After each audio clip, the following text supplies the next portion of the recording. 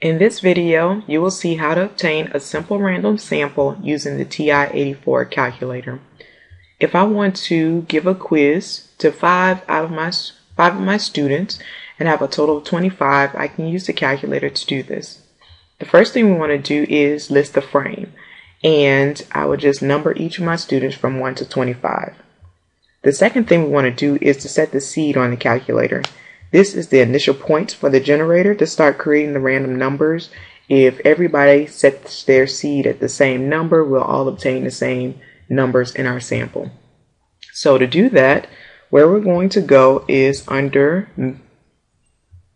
where we want to initially set the seed. So I select the number 12. Then we're going to press the store button, which is right above on. So this just assigns this value. Then we want the rand function. So we're going to go to the math button,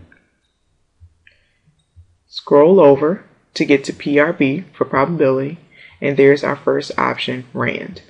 We press enter to select it, and then we press enter again to complete that assignment.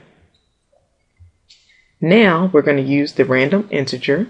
We're going to go back to math. We're going back to the PRB menu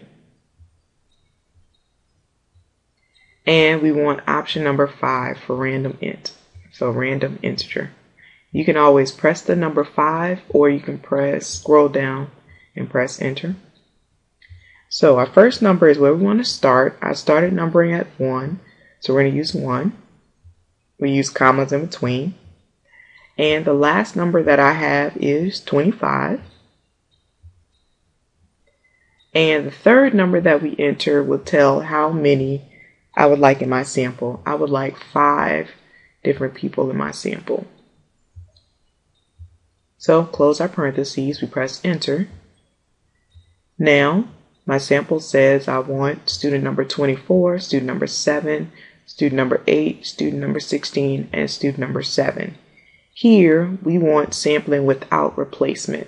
So I need one more student to select. I can either rerun this statement and see the different numbers that they give me, or I can just select one more integer.